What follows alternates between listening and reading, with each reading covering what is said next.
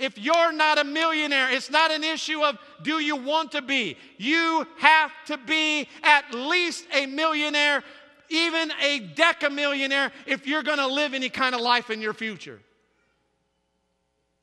Who's ready to make that decision today? The difference between the rich and the poor, they decide to go there. The poor and middle class, they never decide. And some of you are trapped in middle class because you have so much, you, you, you don't, you you stop dreaming. You lost the hunger. You lost the fire. You got comfortable. And God is saying, wait a minute, we got buildings to build. Wait a minute, we're talking about the expansion of Jesus House Ministries. Wait a minute, we, we got some families to help. We got, oh, come on, somebody help me up in here. He's saying, stop being so selfish. So, what I want to share with you today are my three big mistakes. Because I think you can learn for, more from my mistakes than me standing up here bragging to you about how much money I have, right? Yes or yes? If we can eliminate your mistakes, we can accelerate the speed of you changing your financial life. Are you ready? Say, oh yeah. Let's go in. Let's go right into it. Three mistakes. Mistake number one. Here's the big one. I thought, we can put, we can put this on the screen for you. Mistake number one. I thought that if I became more spiritual, my money problems would take care of themselves. Oh boy. I thought that if I just became more spiritual, that my money problems would just take care of themselves. What I failed to realize is that I am a spiritual being in an economic world. Right? And the economic world is a real world in which I have to function. And in this economic world, I need money to be able to function in it. Because there's three constants about this economic world God, how many know God's always going to be here, right? Two, gravity. If I leap, I'm going to come back down. Number three, gold, the three G's. These are always a constant. People say, oh, the whole financial system's going to close down. No, it ain't. As long as there's a tree, mankind will print more money. Somebody say amen. Don't listen to the doom and gloomers. No, no, no, no. There will always be a currency here on the earth. That's a constant, it's steady. But see, I thought that if I just sought God and gave 10%, that God would just take care of me. And, and so many people in the church, they do that and they, they're confused. They're like, I'm giving 10%, I'm going to church, I'm doing all my spiritual stuff, but my finances, I keep struggling, I keep hitting my head. That was me. And then I realized from my multi million dollar mentor, he said, Keith, this is huge. He said, You can give 10% all your life, but still do wrong with the 90%, and you will still stay broke. Because your assignment after the 10% as God's steward, everybody say, I'm a steward of God's money. Your assignment is to earn it, multiply it, and distribute it correctly. You see, it's only when you understand how to earn it and multiply. The king wants you to multiply and learn how to multiply what you do have. Multiplication creates speed. He never said, I want you to add. He rewarded the man who doubled what he had. Come on, somebody, help me here. Walk me with this. Are you walking with me? To the guy who had an abundance, he took from the guy who could not multiply it and he gave it to the guy who could multiply it. Everybody say, I need multiply. I need to multiply. I need to multiply. I did not know how to multiply my money, so I went slow. That's why the world system teaches you addition. Just save just a little bit of money, put it, put it in the bank, just a little, little, little, bit, little bit of money. And, and when you get older, you're going to be, voila, you're going to be having a great life in retirement. Come to, hey, if you're ever in Florida, everybody come to Florida. Come to Florida with me. Come look at the old seniors in Florida. At the first of every month, I can't get in the grocery store. You can't get in it. Why? Because there's a bunch of old people who bought into the old system and, and they're waiting for their Social Security check to come in. And they get their little measly Social Security check and they think, Am I going to spend this on groceries? Do I buy medicine this week? Or do I buy gas? Is that what you want to be like? Is that your future? And you, then you better not, you better not, you better say, they did it the wrong way. I better go a new way. I better learn how to not add. I better learn to multiply. Because what they didn't teach the seniors of our generation was that your future's gonna be way more expensive, and you can't think increase, you must think multiplication. Come on now. That's why I love why the pastor said this is a year for increase. Woohoo. Everybody say, woohoo. If all I had to do was tithe, and all I had to do is get more spiritual, intercessors would be billionaires. Hmm. But I don't know about what you found, but I found most intercessors are the most brokest people in the church. So you could get an A plus spiritually, but get an F minus because you don't have financial intelligence. Everybody say, I got to grow my finance. Just touch your head. Say, I got to, I got to figure this out now. it's mistake number two. I thought money wasn't important. I thought money wasn't important. Hmm, that's a big lie. Think about this. If I tell my wife, how many married people do we have here? Raise your hand if you're married, married people. Okay. All right.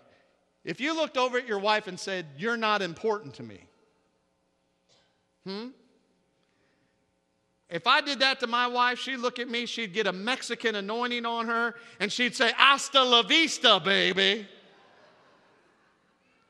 Whatever's not important stays away from you. And I got this religious mindset oh, money's not important, and it stayed as far away from me as it possibly could. And I bought right into the strategy of the enemy. Watch this, there's two strategies. Strategy number one, he wants to get good people like you with tremendous earning potential to believe that their desire to get rich and have a lot of money is evil. That's his strategy. Gets you to think it's not important. The people who should have it. The second strategy, look at how, look at how demonic this is. The second strategy of the enemy is to get bad people to believe that the pursuit of money is a good pursuit so that they can get the most of it so you don't have any of it. Hmm. And that's when I started to realize wait a minute, wait a minute. If God's called me to be a steward, that means a steward must keep the eye on the money. Everybody say, you got to keep an eye on your money. And what I find in the church is that people got their eye on God, but they don't have their eye on their money because you tell yourself it's not important. I did it. I did not know I was $180,000 in credit card debt because I kept telling myself money wasn't important until I had my come to Jesus and I lost everything. Now I know, wait a minute, it is important. And because I thought it wasn't important, here's the other mistake I did I never set any financial goals for my life. I just thought, you know, I, I pray, like, like I, I find people, hey, this is a year of increase. God's going to give us more and what? Well, how much is more? Just mow. Okay, here's a penny. You got more. Now, don't complain at the end of next year, you got an extra penny. See, I never set any financial goals, I never had any targets. Until my multi million dollar friend looked at me and said, Keith, how much money you got in the bank? I said, $247. He said, Wow, I can tell. He said, uh, what's, your, what's your financial goal? Praise the Lord, whatever the Lord's will is. So it's the Lord's will for you to have $247 and living in your mother in law's hell hole. Yeah, must be, Lord, must be. He said, No, Keith. He said, Keith, you need to set a goal at the beginning. Your first goal is to set a goal to be a millionaire. A millionaire? He said, Yeah. He said, Not for the money, the possessions, or the houses. You need to set a goal to become a millionaire for the person you will have to become in order to achieve such a lofty goal. He said, obviously, the person you are right now, all you can handle is 240 measly dollars. Woo. And he said, setting small goals isn't going to grow you, Keith. Why do we set goals? Why do we dream big? Because we see big, and then we have to grow into the dream. And some of you have never had a target. That's why you never hit it. So I want to challenge every person under the sound of my voice. If you're not a millionaire, it's not an issue of do you want to be. You have to be at least a millionaire, even a decamillionaire, if you're going to live any kind of life in your future. Who's ready to make that decision today? The difference between the rich and the poor, they decide to go there. The poor and middle class, they never decide. And some of you are trapped in middle class because you have so much, you, you, you don't, you you stop dreaming. You lost the hunger. You lost the fire. You got comfortable. And God is saying, wait a minute, we got buildings to build. Wait a minute, we're talking about the expansion of Jesus House Ministries. Wait a minute, we, we got some families to help. We got, some, oh, come on, somebody help me up in here. He's saying, stop being so selfish. I don't, I don't feel no love in this house. Come on, take your hand out like this. Take out, say, oh, I love this guy. I love this guy. He's telling me the truth. Come on, just say he's telling me the truth. We're selfish. We got so much. And God's saying, I don't need you in middle class. I need you to move up to the next level this year. How many like to have a financial life with no stress? Come on, give me a wave. No stress, no worry about tomorrow. It's a wonderful life to live. And that's where God wants you to live. I say often, what, what's the number one cause of divorce? No, it's marriage. just joking, just joking. We all know it's money. It's money issues. We got a money problem, but we bury our heads under the sand and act like we don't have no problem. How you? I'm blessed. No, you ain't. You're a mess. Tell yourself the truth.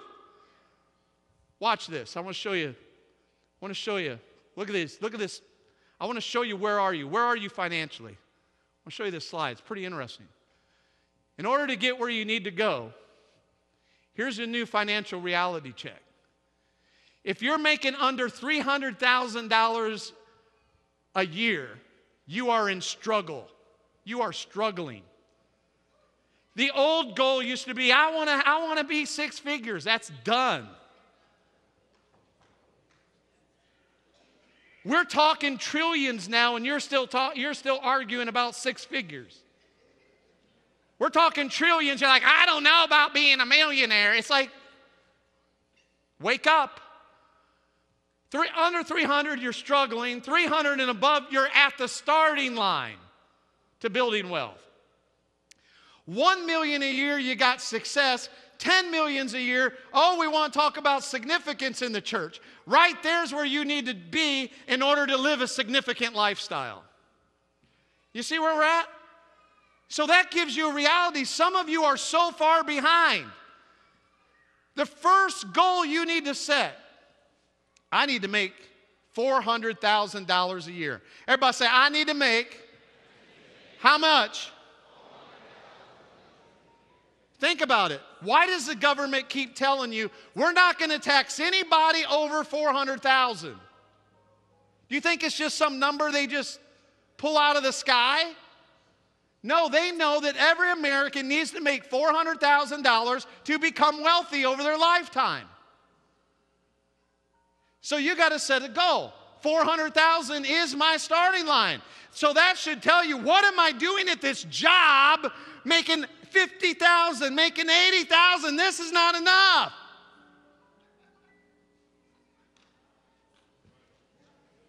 I'll take that hand clap. I'll take that hand. Thank you for somebody's got to tell you. Some, I'm here to challenge you. I'm not here to comfort you. I'm here to challenge you. Mistake number three I only had one source of income.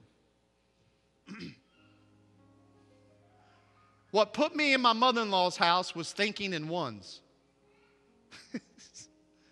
my million dollar mentor, he, he, was, he was like at 10 million then, now he's at 100 million.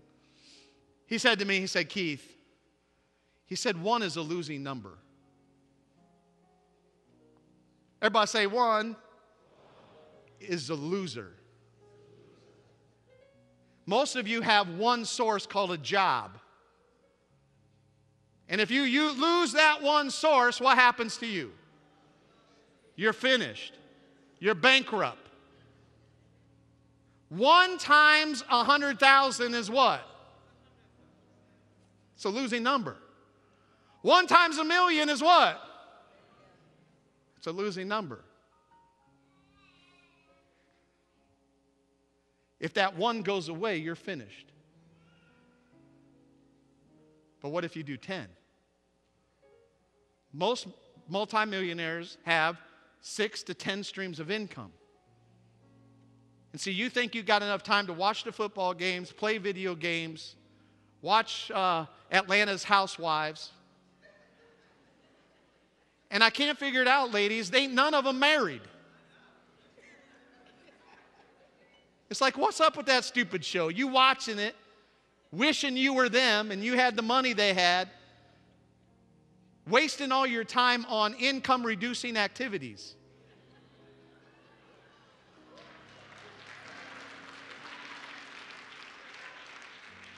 Oh, I got on you, ladies, but I'm gonna get on the men.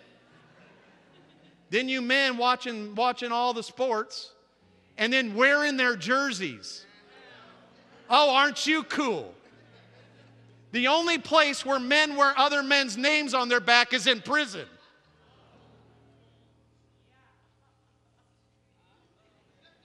Yeah, guys, go take your go, go take your little jerseys and burn them.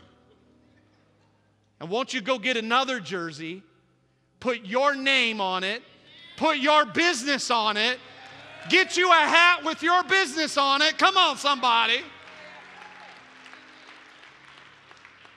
Stop being in love with them and you build your wealth. You build your success. Come on, somebody clap on that. Not one of those football players is going to give you a dime for wearing their jerseys. Put your arms around yourself, guys. Give yourself a big hug. Ain't doing nothing for you. Zero. But keeping you broke. That's what they're doing. I had one source. I, had, I, I then I discovered the power of multiple resources. And then that's how I crushed debt. I got multiple resources coming in my life. And instead of one source, I had multiple sources. And then I swallowed up all my debt. And in three years, everything was changed. Come on, give me a hand clap here, huh? Come on. I got a little something for all of you guys before we go. My time is up. I created what's called FAST, Fast Track University, Financial Fast Track University. And what I did was is I wanted to I literally took all the strategies that I learned from my multi-million dollar mentor that helped me change everything in 3 years. And I put it into a 15-day university.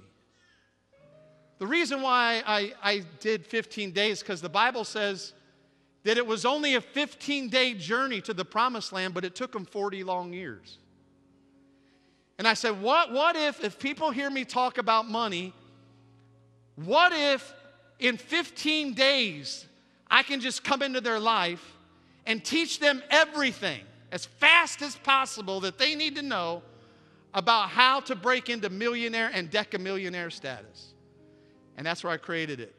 If, if the guys will show the picture, it comes with my book, my new book, Financial Fast Track. It comes with the audio program where I went in the studio. I just read the whole book. So if you don't like to read, you can listen to it on audio. Delivered to your email 15 days in a row. I'm going to come for 15 days in a row and I'm going to walk you through a mental mind shift and give you a new plan on how to change your finances. You get one of those, you get a follow along workbook. It's literally a 15 day quick, quick university. And what we did was, is online, if you, if you give me another click there, online, and we've never done this before, but I told my team, I said, man, I want to do something special. Yeah, that's the book. Go ahead, give us another click, would you guys? This is my whole thing, my whole financial fast track. You get the PDFs, you get the books, you get everything. And, uh, and also, you get what I call my coaching experience called Release the Emergency Brake. I help you identify the one belief system in your mind that's keeping you from financial turnaround.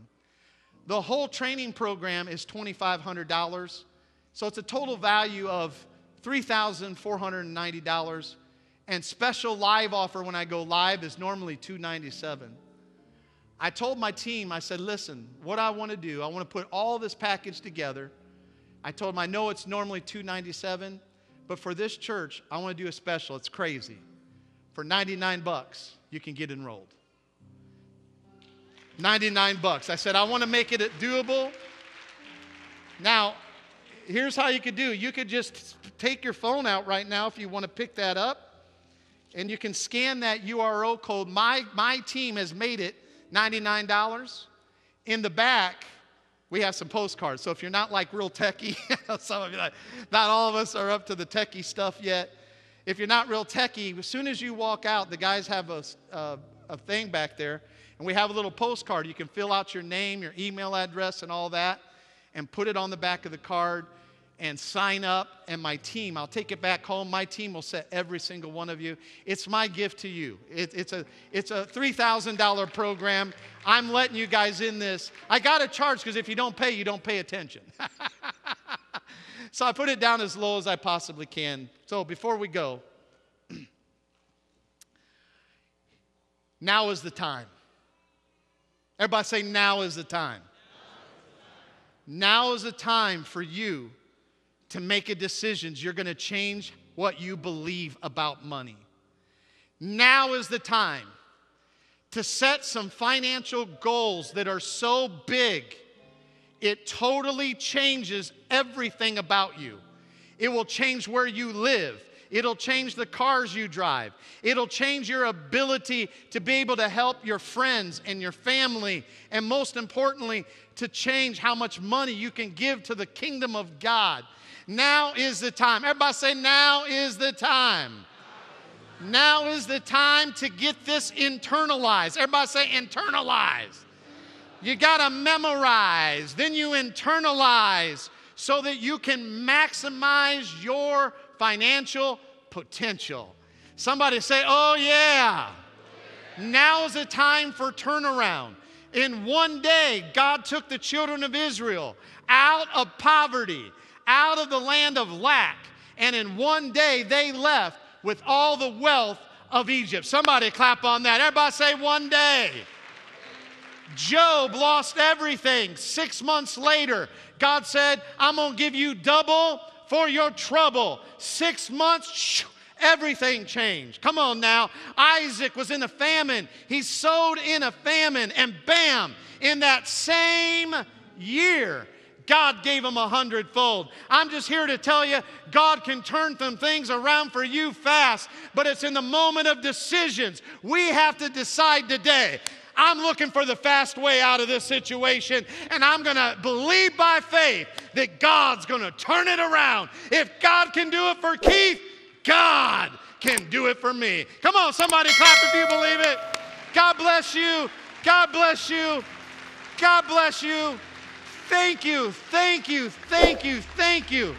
Everybody say, I believe that quickly God's going to turn things around for me. Come on, let's clap on that. Come on. Faster, going to make your head swim.